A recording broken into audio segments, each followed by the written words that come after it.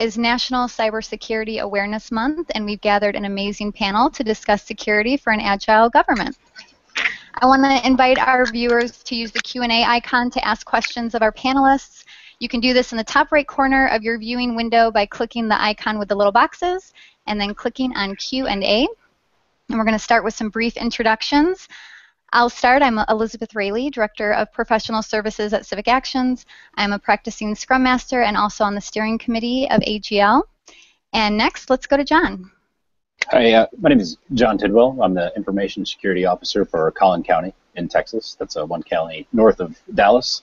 And we have the extinguished or distinguished challenge of doing security for a local county government and finding ways to where do, where do we start and how do we measure our success? And we are developing a, uh, an agile platform, moving to a, a Scrum methodology to uh, just kind of build a build the car as we drive it, so to speak. And uh, we're here to share some of our lessons learned and uh, some of the tips and tricks of what is and is not working for us right now uh, for the betterment of uh, government as a whole. Thanks, John. Let's go to Jeff. Hi, I'm Jeff Gallimore. I'm a partner and co-founder at Excella Consulting. We're about a 140-person consulting shop based in Arlington, Virginia. Um, my particular role at Excella is I run our services unit, and over the last couple of years, uh, a big focus of mine and ours has been this whole DevOps thing. Uh, in both DevOps in the government, DevOps in the private sector, everybody doing the DevOps. So yeah, it's something I'm really passionate about. Love talking about it, so it's good to be here.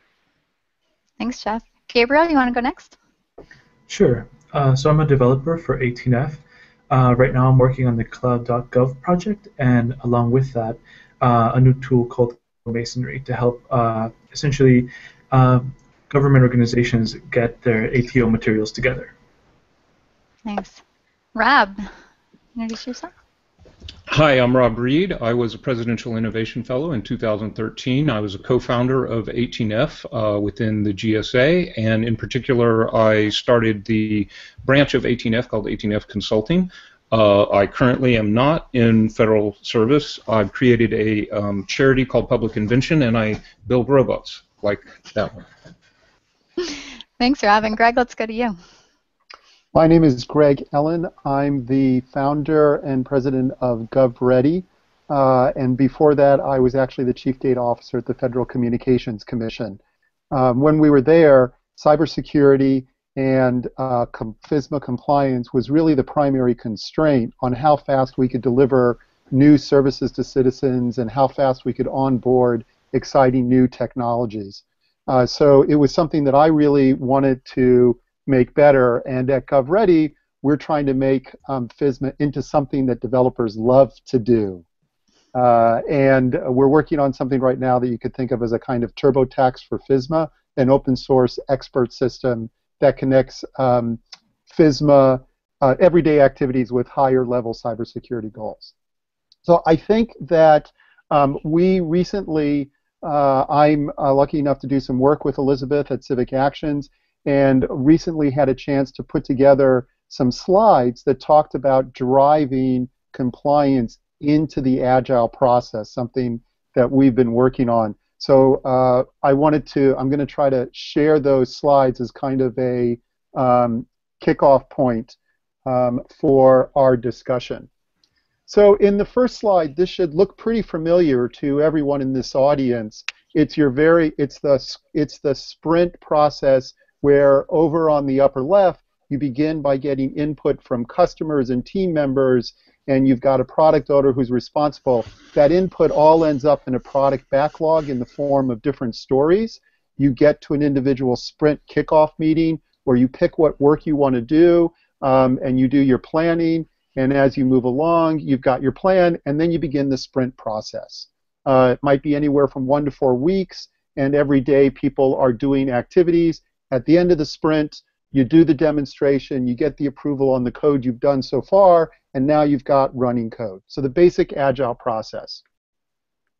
Now, the idea of injecting um, security goals really starts early in the agile process, where basically, in addition to people that are talking about features, if you're developing for government or you're concerned about cybersecurity, you want to include, you can see the green circles, you want to actually include cybersecurity requirements in the production of your backlog.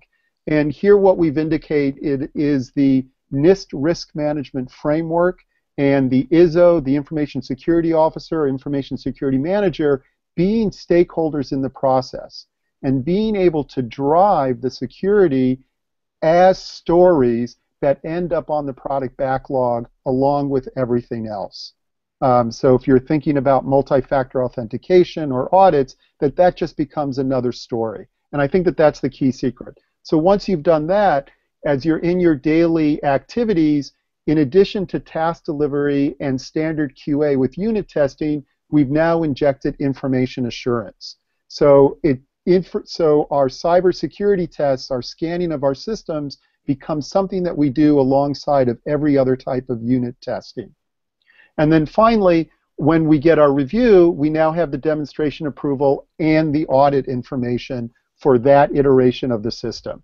And then we can ship the product, and that way, to sum it up, we're really doing cybersecurity and we're producing the necessary um, artifacts for compliance as we're building the system rather than something that happens at the end. And I'll hand it back. Thank you, Greg. Um, so uh, let me thank our awesome panelists here, and let me point out that uh, it's very important to have viewer participation on this show. So if anyone has any question, it will, will, really help us if you will chat it in through the Q&A tool. We'll be able to see it and direct it to our panelists here. Um, some of you may be beginners in this. Some of you may be experts who have a lot of opinions to offer. We're happy to have both of you. Um, it's also the case that many people watch this show on YouTube uh, after it has been produced. Uh, and we would be uh, happy if you guys would promote that by liking the show on YouTube and perhaps subscribing to the Agile Gov Leadership channel on YouTube. Um, so let me just give a little bit of an introduction uh, to what I view the problems here are, and then perhaps we can return to Greg's diagram and get down into some nitty-gritty details. Um, I do not consider myself a security expert. I do consider myself an agile expert, and one of the problems uh, that is some, has been sometimes encountered, and it is now being fought by people like 18F, Noah Kunin, and Gabriel, uh, who's on the show here, is that agile development is at odds with security. In fact, it is not at odds with security. It is perhaps at odds with the mindset that some government agencies have had of having to have a very rigorous security policy uh, and then a gate where you say, I'm going to sign an authority to operate and then I'm going to avoid changing anything for as long as possible.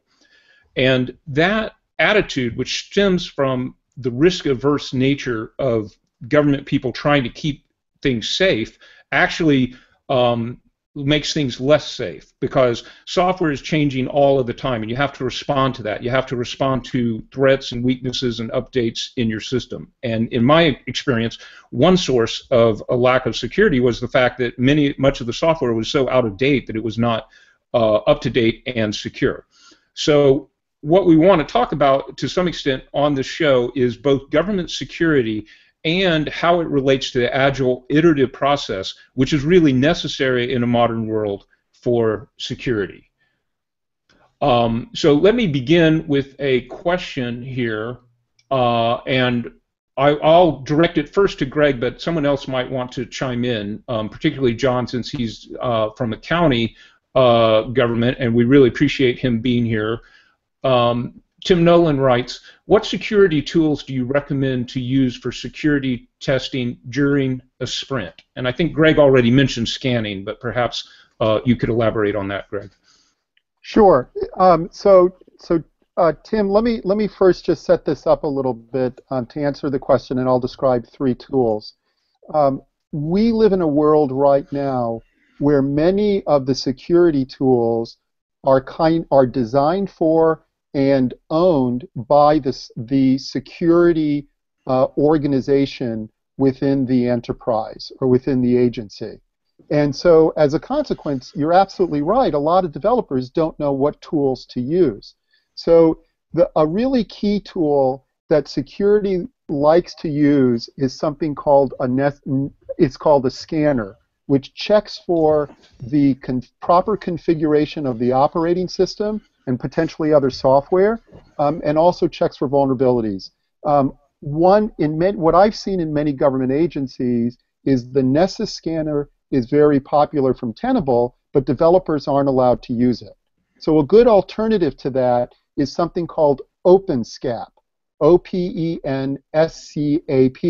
which is an open source certified, a NIST certified scanner um, that's available, uh, and you can find it on GitHub or just Google it. Um, my own company, GovReady, we make a little tool belt that makes it easy for developers to install OpenSCAP and use it um, and makes it a little bit easier to use on the command line. The other two tools that you might want to begin to look at, OWASP makes a few tools that help people look at um, the how secure their web stacks are. Uh, and another tool that developers are starting to look a lot at is called Gauntlt. Um, and that's spelled like gauntlet, only without an E at the end. G A U N L T, I think it is. Um, with uh, it's missing an E. Uh, but those are three different tools that are all open source that you could begin to use within your stack. And like anything else with Agile, I'd recommend uh, starting with just one and starting with just a little piece to figure out how to use it. Thank you, Greg. And I'd like to point out that um, Mark Schwartz, who's been on the show uh, and was on a very popular uh, episode, also um, insists on having scanning on a weekly basis. Uh, so I believe that's kind of um, uh, a best practice that everybody agrees with. Um, so perhaps now we can turn it over to Gabriel and talk about some of the things he's been doing, which are similar to what GovReady has done with uh, 18F's um, uh, FISMA Ready program and the uh, Masonry project. Um, that unfortunately will be focused on the federal government, but uh, maybe we could hear about what you're doing, Gabriel.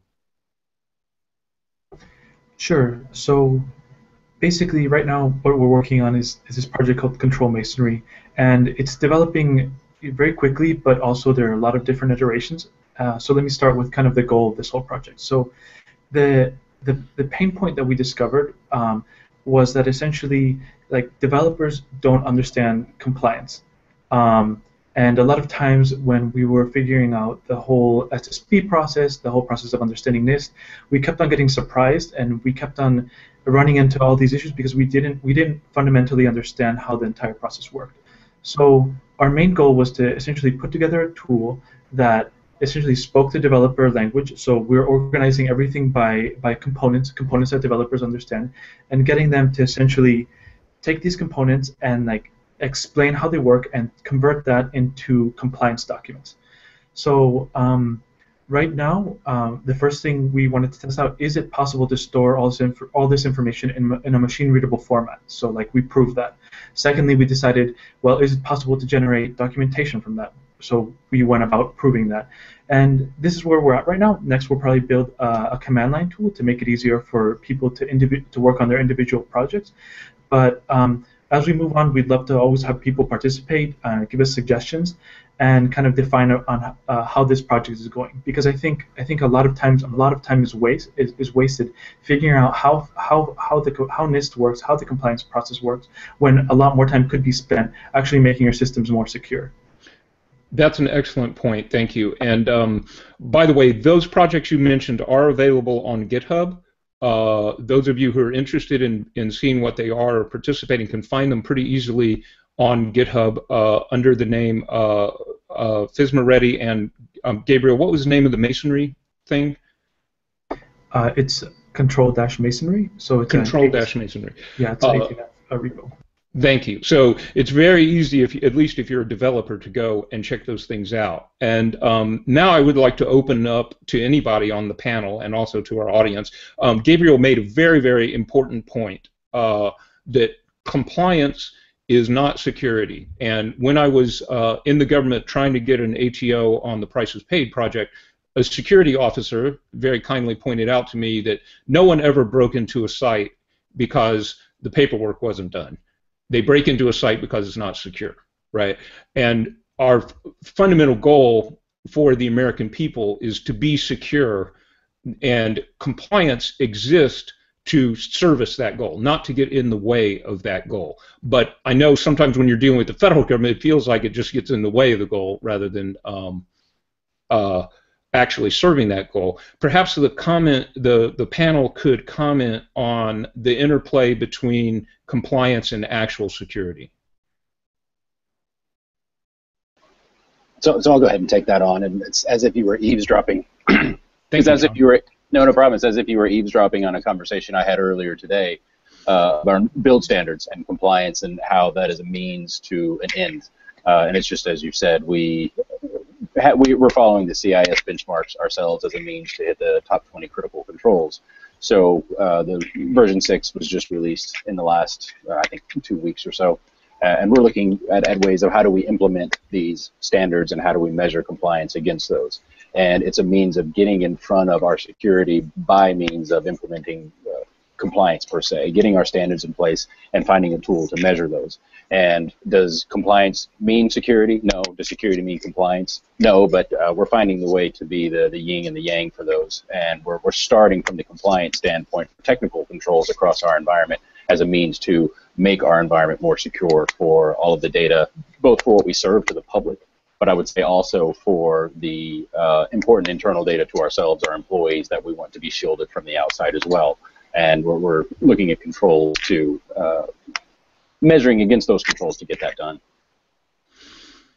Thank you. I, I, yeah, I'd like to jump in. Uh, I think, Rob, um, one of the that it's in order to do compliance, um, in order to kind of get comfortable with it, I think you really do have to embrace the idea that compliance is not security. It is not what it's there for.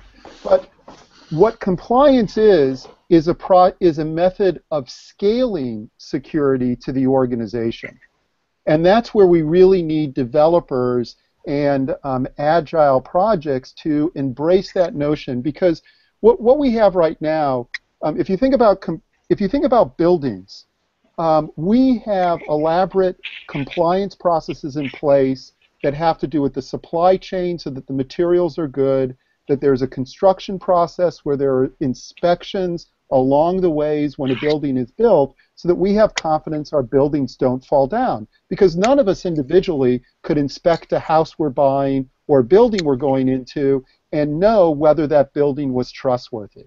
So we have to rely on a process and that process is compliance, right? And and so we need developers to get on board because security people are guarding against real problems that are happening. They're walking the perimeter and they're protecting important assets. Compliance is about taking a practice that works and making it easy for the entire organization to embrace and do at scale across multiple projects. And that's what developers are really good at, right? It's about, so it's not about doing the paperwork, it's about making it easy to scale cybersecurity. And as Gabriel was pointing out, and I, a compliance that we're going to love as developers is one where the paperwork is produced automatically out of the work we're doing, just like our information radiators, just like our, our um, burn down charts are all produced out automatically out of the work that we do, not as something extra to the work.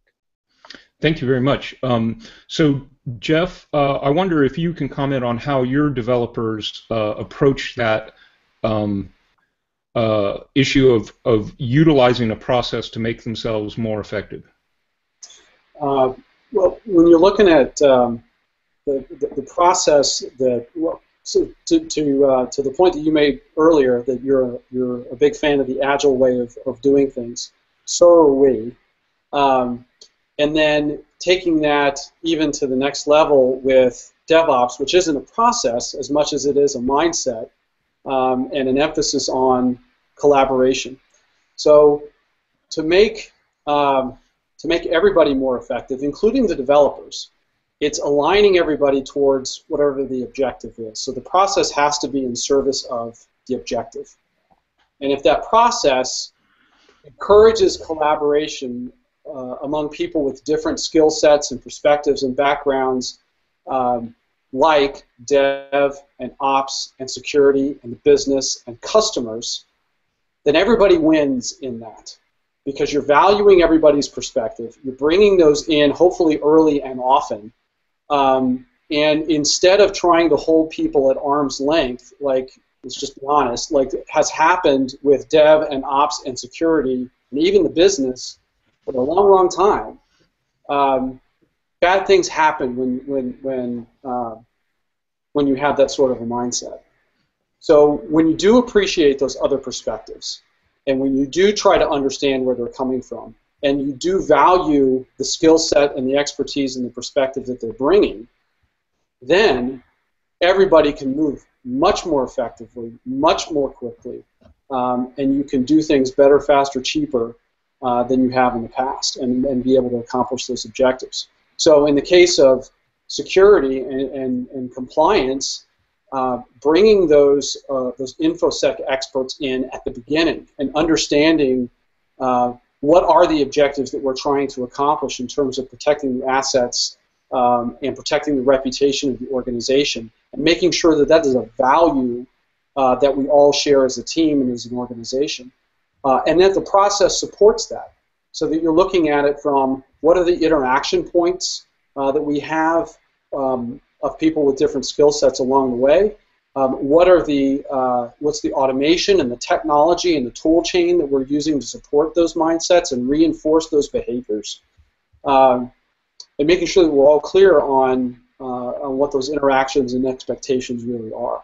Uh, so that's a long-winded way of saying uh, the process that we use is, is, is there is a process to it, but it really starts with the mindset that we're all bringing uh, that we all have a valuable part to play in achieving the, the objectives and helping the organization win.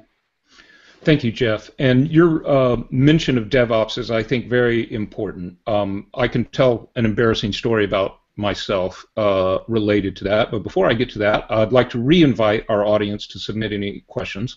Um, one thing about DevOps uh, that I think is pretty important for people to understand is some programmers focus on computer programming and are not very knowledgeable about system administration and they're not very knowledgeable about what we might call DevOps. Uh, and yet, security weaknesses can occur in several different ways. One is a computer programmer makes a mistake, which is a security flaw and allows someone to attack something. Another one is simply that someone leaves the door open, and that's more of a DevOps type issue. And um, I think we can see examples of both in the heinous security problems that um, come to light publicly, um, some of which have to do with um, uh, government software simply not being updated uh, quickly enough. Um, I wonder if the panel could comment on what the policies should be to make sure that the large stack of software, which all, you almost always depend upon uh, to keep your system secure, which is analogous to what Greg was talking about in terms of the material within our building. Uh, you know, you have to trust that the girders are, are proper. Um, uh, how you make sure that that entire infrastructure is up to date on an ongoing basis. Well, that's a big that's a big question, Rob.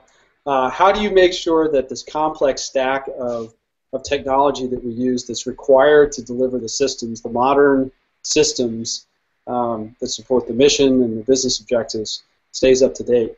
Um, there's a, a, friend of mine. His name's Josh Corman. He's uh, the CTO at Sonatype, and he he uh, has made it his mission in life to help people understand um, the software delivery process in the context and using the metaphor of a software supply chain, uh, which I think is is um, a really powerful metaphor in, in, terms of how do you uh, how do you deal with the complexity of today's systems um, and still achieve the objectives that you want to achieve that are meaningful and valuable. One of which being security. Uh, and so he um, he's done a, a, lot of things, and I would encourage anybody who has the opportunity to, to hear Josh speak or to watch one of his presentations to do that because he will say it a lot more eloquently than I can. Um, but the idea is that number one, you need to know what is included in your systems, what software you're using to actually build your systems, because you don't if you don't know what's in there, how can you manage it? So visibility is really really important. Um, and he uses the, um, the, the context of a, of a, of a manifest, a software manifest. So when you build a system, what is the software inventory? What are the third-party or open source packages that you're using? And making sure that, that that, that is exposed so you know what you're dealing with. And that goes all the way down to the version numbers or the build numbers, because different versions of software obviously have different uh, different characteristics and attributes. So that's one thing. And then the other really important thing that, that he emphasizes is, is in addition to knowing what you have in the system, it's being able to respond to changes quickly. And there, that is a that's an iceberg, um, with a lot of it being under the waterline in terms of how that happens. But um, just to pull the uh, uh, you know, the heartbleed example from a little while ago, a lot of organizations knew that they had um, they had that vulnerable OpenSSL package uh, it running in their infrastructure, but it took them forever to be able to to patch that and to, to, to address that vulnerability because they did not have the ability to respond quickly to any detected vulnerability.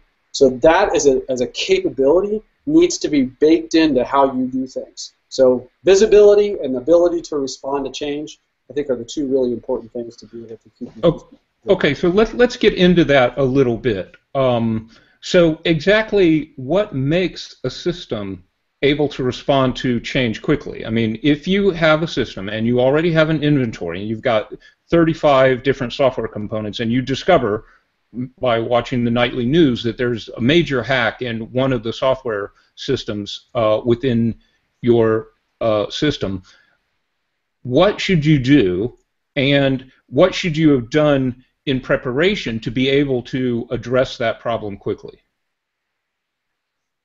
So I, I go ahead. Wanna, go ahead, John first, and then Greg. So I, I was just going to uh, compound on the knowing what you have uh, point that that was made, and having an asset inventory is is key. Obviously, have, knowing you you can't know what to defend unless you know what it is that you're defending.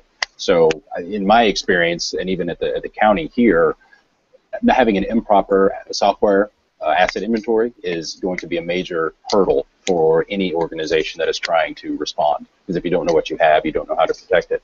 On top of that, I think one other key point is tying ownership to those apps and to those systems, both from a technical and a business standpoint, so that when you know X, Y, and Z server out in your DMZ is found vulnerable to, to Heartbleed, the technical owner who's going to administrate that change needs to have a contact to go and understand how quickly.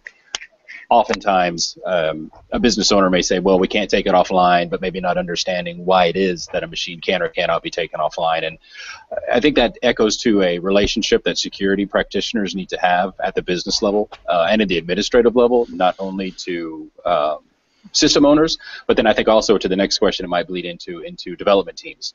Um, I think it was spoken earlier. Uh, you know, development teams have a development background, and security engineers have a security background, and those aren't necessarily the same. And uh, I, th- I believe a role as a security officer, because that's what that's what I do, is to be an evangelist for security and be out to show that security is an enabler. You know, we don't need to be saying no all the time. We need to understand business processes and how to wrap security around those. And part of that is learning how to speak different languages, both from a business owner standpoint and then from a development standpoint. Uh, you know, speaking to a coder and, and understanding how we can come to common common language to bring about security for the for the good of the whole. Thank you. We have a question from the audience which will relate to that, but I want to give Greg a chance to respond before we move on to that.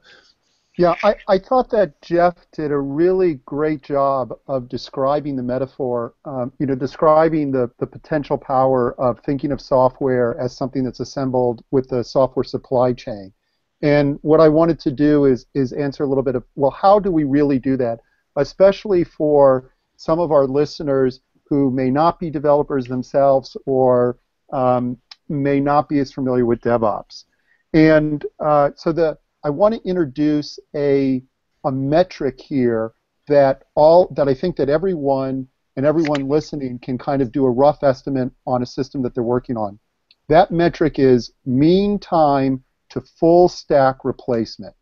In other words, how long would it take you to completely replace, to build from scratch, all of the software that and the computing environment that represents your stack? So if you wanted to upgrade every single component or you simply needed to reinstall every component cleanly, how long would it take you? The mean time, the average time to full stack replacement. Now, the reality is your mean time to full stack replacement is going to be days or weeks unless you are using some type of automated tooling known in the DevOps world as continuous integration and delivery unless you have actually turned in your installation process into software. In other words, we, what's really exciting right now, and kind of what led me to the path that I'm on and made me feel like FISMA paperwork was something we could solve, was the emergence of software defined computing environments, where everything in the data center is defined by software right? So it's not a, it's not an individual sitting around typing in the install instructions, but it's actually another piece of software um, running a script or running a sequence of scripts that in, completely installs the stack. So a couple of ones that are popular: Ansible, Puppet, and Chef. And what's really exciting is this is this year, Chef has introduced an audit mode into their tooling thinking about another tool which will allow you to run scans as part of your continuous integration and delivery pipeline.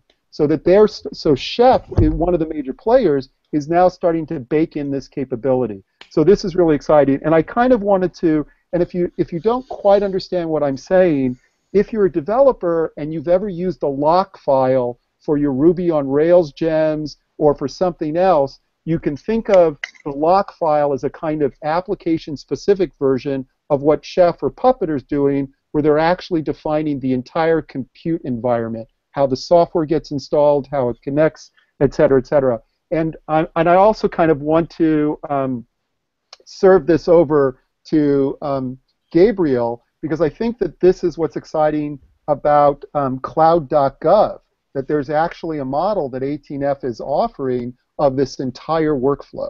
Am I correct on that, Gabriel? Yeah. Um, basically, we're using Cloud Foundry uh, to build out like secure instances of so people can put their software on them. And um, as a process, I think what it's really going to be powerful for is not only having a secure system, but at the same time, uh, essentially having a system that is partially halfway ATO'd. So essentially, 80% of your compliance is completed already, and we'll handle a lot of the monitoring. And all you have to worry about is that last 20% that your application goes on on top of. So we're hoping that at least with Cloud.gov, it will be one solution for people to build secure systems and build them and build their software quickly and deploy quickly. Well, I think that's just brilliant. Um, thank you, Greg. That was a very um, uh, cogent way of describing the problem and some of the things that's going on. Thank you, Gabriel, for being part of that. Um, I'd like to push back on that a little bit and um, think about uh, what it means to replace the software stack. So uh, I have used Puppet and a few of those other tools um, to produce a one-button deployment of a system right? So the the, system, the deployment of the system is completely automatic. So it it is not particularly prone to human error. Okay, but that does not necessarily mean that, for example, if some uh, exploit is found in Postgres, that I can instantly switch to MySQL or some other database within within my system. So, um, what does it mean you know, it, it's nice to say, well, I have a mean time to full stack replacement, but what does that mean if you can't replace the individual components uh, that quickly? so, Greg, perhaps you can comment on that. And it may be that I'm just not describing. No, I, I think that that's a, I think that that's a really I think that that's a fair um, that's a really fair question. Um, the and and this is actually why um, when we think about compliance as something that helps us scale security, or we think about you know John as a security expert, we we you know um, another the question that came is should a security staffer be part of the Scrum the Scrum team, or should Dev know more about security matters? And I think the answer is kind of both.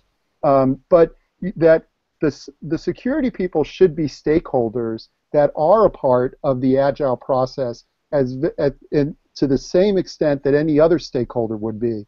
And you want them as, as part of the process exactly so you can answer the question that, um, that Rob just posed, right? It's like, okay, great, I, I, I've got my software-defined infrastructure. Um, I can, if the system is compromised, I can completely deploy an entirely new stack, and I and I can get rid of the fact that that that uh, uh, someone might be on my system. But what if I learn that one of my components is severely compromised, and I want to go to a different component? How do I deal with that risk?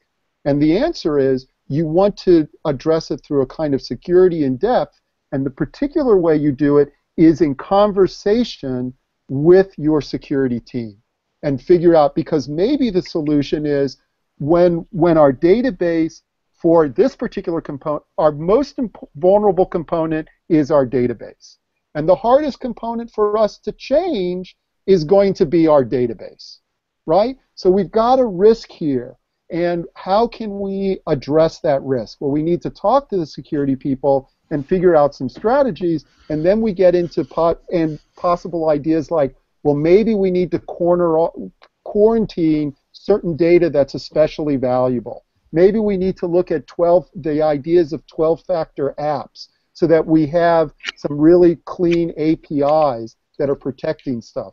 Maybe there's some special tools that the security people have that can get us through a period of vulnerability um, when we're in it. So it, it Rob, you're, I think the answer to your question is, yeah, we you can't just swap out MySQL for Postgres, right?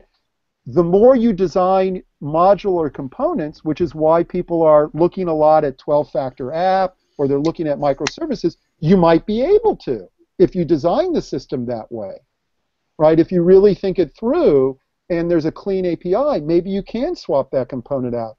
But the process really is so complex, as as Jeff was alluding to, that you need all hands on deck talking about these things and using everyone's talent to come up with solutions. Well, thank you. Thank you very much. So now let me change tack a, li- a little bit here and um, explain one thing that happened to me when I was working in the government. I was working on the Price Prices Paid project, and I was trying to get uh, go through the security process, and I'd read all the NIST controls and had worked all of them out.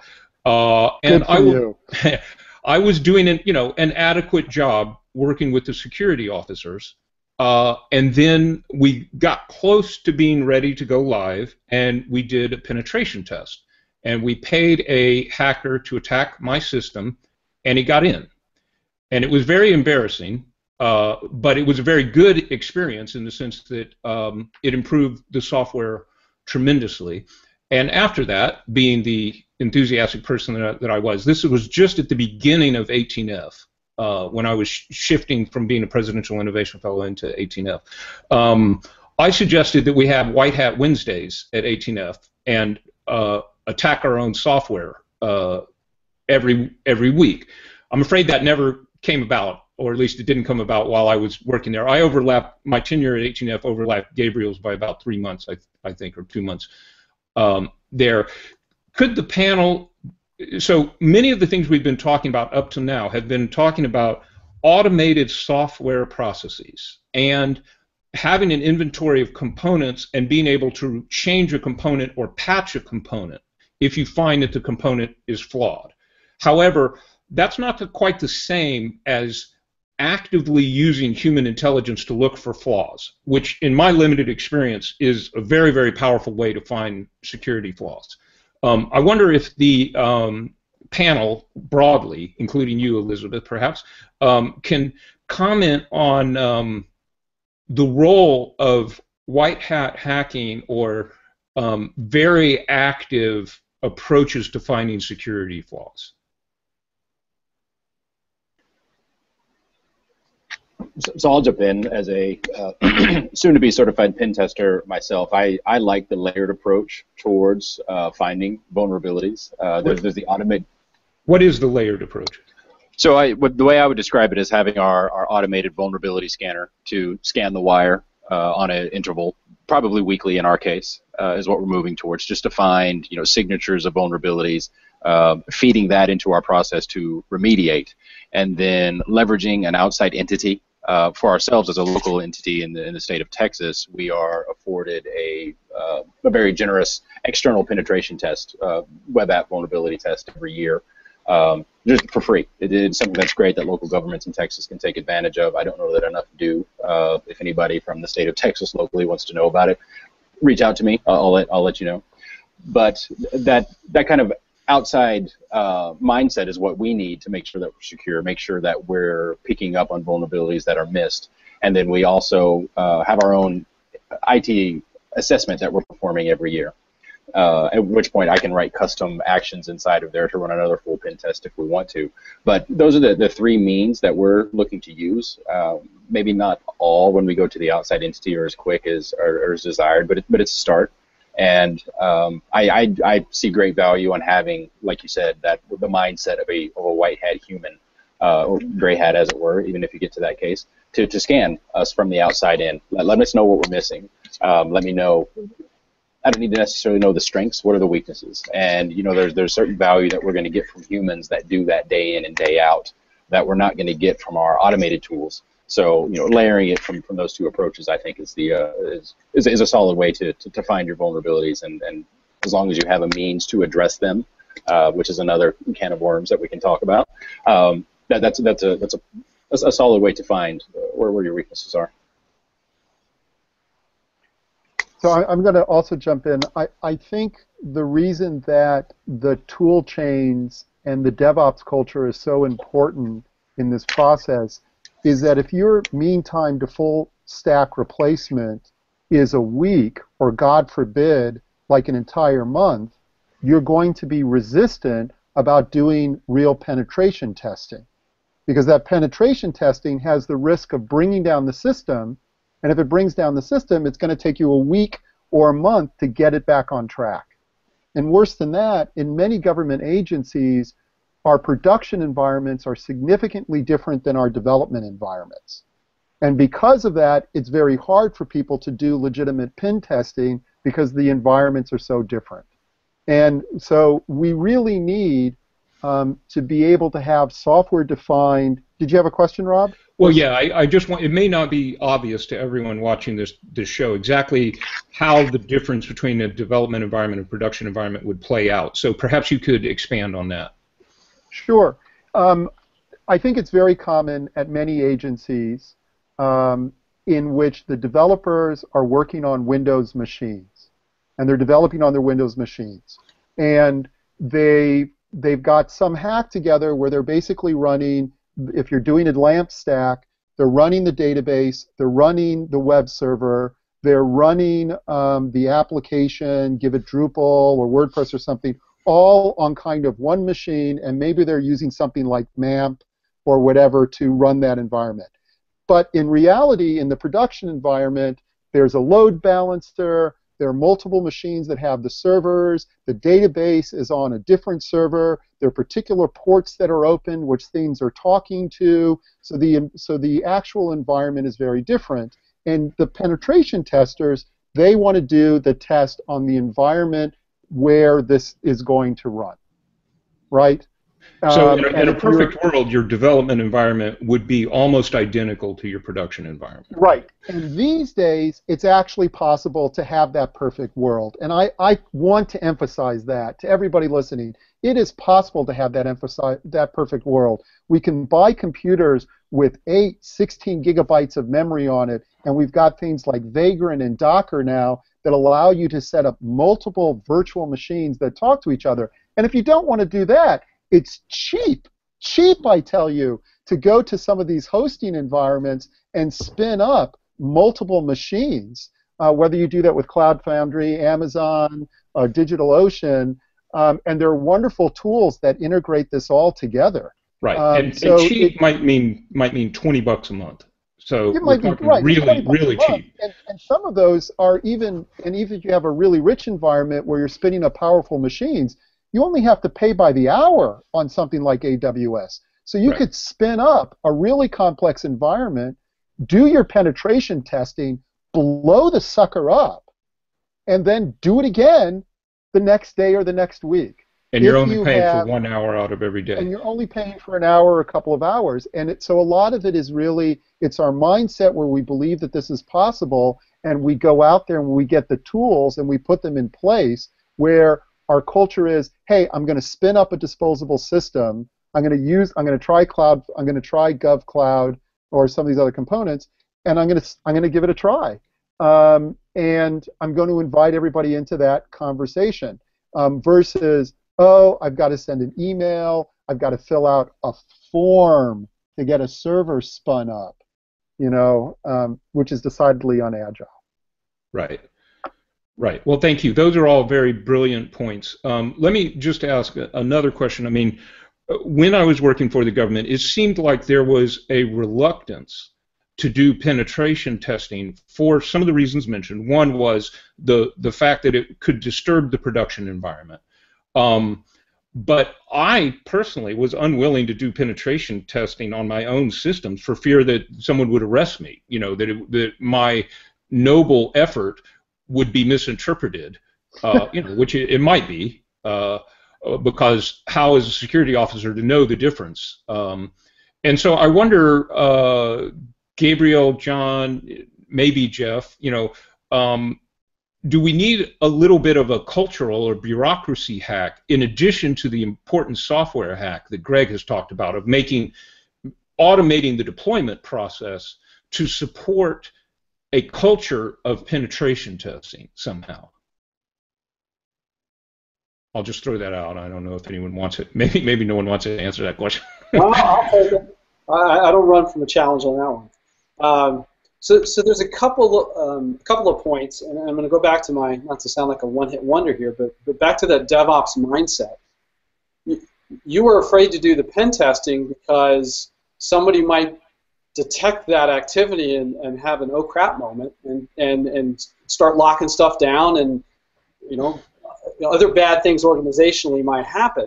Well, with that DevOps mindset, you start to have the mindset of collaboration along the way. That security officer was probably intimately involved in the planning for that penetration testing activity and knows exactly what's happening, when it's happening, and why it's happening. So they're on the lookout for it already, and and hopefully valuing that activity. Um, and then the, the, another part of this is um, back to the the environment conversation. Is with some of the, the newer deployment strategies, and one of the terms I'll throw out there is a blue-green deployment strategy, is that you can create a whole new production-ready environment that just hasn't been flipped on yet as, as live, which really is just moving the network traffic from one environment to the next. So you can have your next gen production environment all ready to go, and you can do whatever you want with it because it is not yet accessible to the outside. Um, you can you can do all of your penetration testing. You can do all of your um, all of your smoke testing on it, making sure that that environment is all ready to go before you finally flip that last switch to make it ready for the public. Um, and that will give you that environment congruency that you want all along the way and have the confidence that that production ready environment is actually in fact ready and secure the way that you need it to be without having to compromise that it's a not quite ready production environment like Greg was talking about. So back to the, the mindset aspect of this, engaging the security pros and the people who are accountable for that early and often and along the way and bringing them in as first-class citizens in, in, in the process. And then second of all, using some of the approaches, the tactics, the tooling uh, to be able to accomplish some of the things that we haven't been able to accomplish in the past that, that are now possible. Well, thank you. I, w- I would point out that that is possible on a development environment. Perhaps we should say a progressive leading edge in development environment that's working closely with the security people. Um, there are a lot of legacy software systems for which it's very hard to find a security officer taking responsibility for those things that would um, be inviting of that kind of activity. But that's a perhaps a, a cultural um, problem uh, rather than anything else. Yeah, so with, with those legacy systems, all bets are off as far as the de- whole DevOps thing. Well, you know, a, a, chain is only as strong as its weakest link, right? I mean, if you if you're bolting a new system onto an old database, if the door to the old database is open, you you need to take responsibility for that, even if that means you have to go rattle somebody's cage and and wake them up to certain uh, facts about um, about the system. So uh, we only have 10 minutes left, and I'd like to reserve the last five minutes for everybody to make a closing statement. But um, I wonder if there's something that we're missing here. I mean, we've only had an hour, but I, I believe we've had some brilliant, brilliant comments. Uh, but I wonder if there's something that someone is just itching to talk about and wonders why it hasn't come up yet and why we haven't had a chance to discuss that.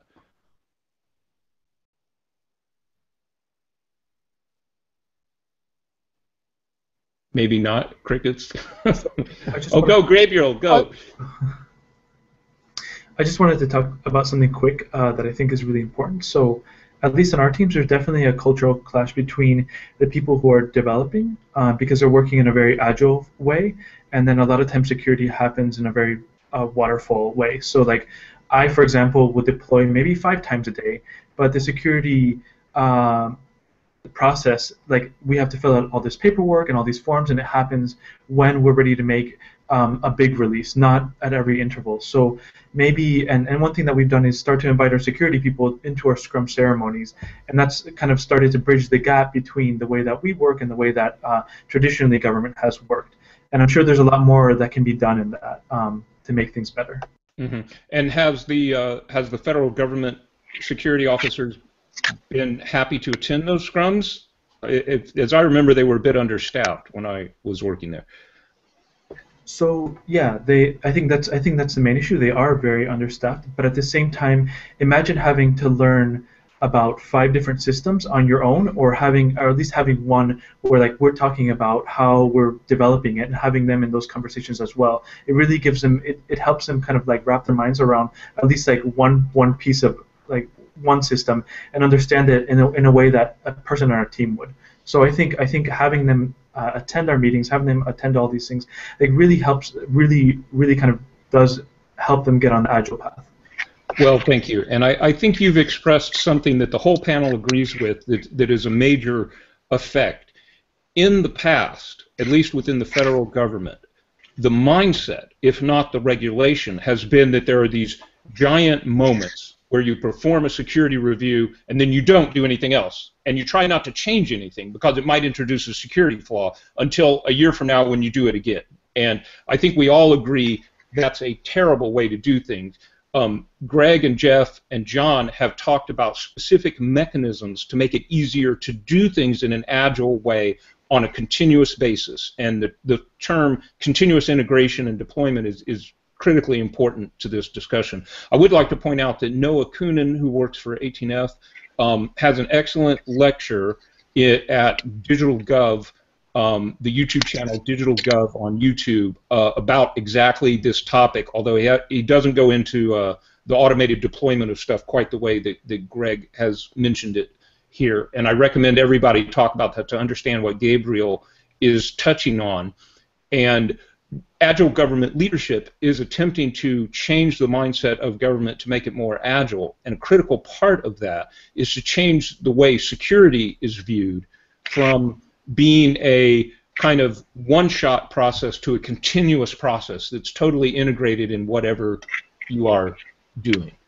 Um, so with that said, uh, we've only got five minutes left, so I would, would um, ask John to just start by saying whatever he thinks uh, the viewers need to know that we didn't cover in 60 seconds. Uh, I, I, would just say, you know, implementing security these days is implementing at the speed of Twitter. So uh, it's it's not the way that it was many years ago. So the agile methodology is very beneficial. Um, I'm more of a security professional than I am an agile professional, but I'm trying to learn to be an agile professional because the big white canvas that I'm trying to build that is a complete security program is going to come easier if I go mosaic piece by mosaic piece, to use a bad analogy. So um, I just, it's an open mindset. I think that's what I've heard a lot today is just about the mindset and um, you know getting getting security on board. But I, I think from the security professionals that I've spoken to, we're all starting to see that that that is the, the pace in which we must secure things. So you can't set up a firewall policy of a thousand rules and wait for those a thousand rules to be in place. You kind of have to go, you know, maybe in chunks of ten at a time. And that mindset can be broken down to a lot of the things that we're doing. And we can learn from agile developers the way that they can learn from us. We just got to build those bridges. Well, that's right. And of course, at one level, if you let the hackers slow down your development effort so that the American people cannot get good software, you're letting the hackers win, right? So you you have to develop a system which is both secure and allows the services that people need to be provided. Um, Greg, would you like to go next? Yeah, I'm going to echo what John said. I, I think so much of this is really mindset. And, and in the last 60 seconds, what I want to say is that it's really easy if you're a developer right now or you're an agile project manager to feel that cybersecurity is something for the experts that you can't contribute to.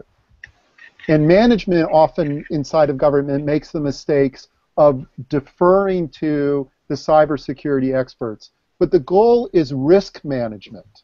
It's not perfect security, it's managing risk. And when it comes to managing risk, management has a lot to say about that the stakeholders have a lot to say about it, and the developers have a lot to say about where can we prioritize our tasks, what do we want to make the story that we need to tackle first that's going to offer real value. Just like this feature offers a lot of value, which aspect of cybersecurity offers the most value to protect the most important risk. So we have to feel that we can engage in it, and we have to learn and uh, piece by piece, just like we do anything else in Agile. Thank you very much, Greg. Gabriel? So I guess I'd like to just say that uh, security and compliance should be a team responsibility, and that we shouldn't silo it, uh, give it to the the security people shouldn't only do security, and should, sh these things shouldn't be siloed. We should all be responsible for the entire system because if it fails, it's not like one person's fault. It's it's everyone's. Thank you very much. Jeff?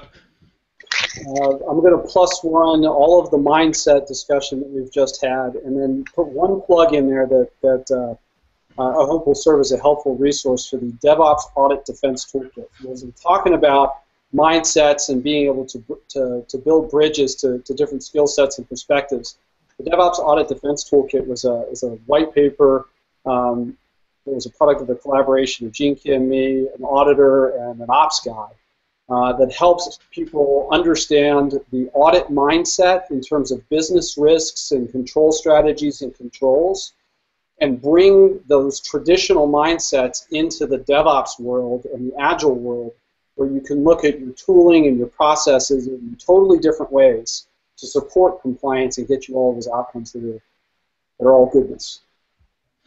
Well, thank you very much. Um, I'd really like to thank all our panelists for their time, uh, volunteering their time for this uh, to try to keep us all educated. I certainly learned a lot. I think this was a brilliant show. Uh, those of you who are viewing it on YouTube uh, afterwards, please promote the show.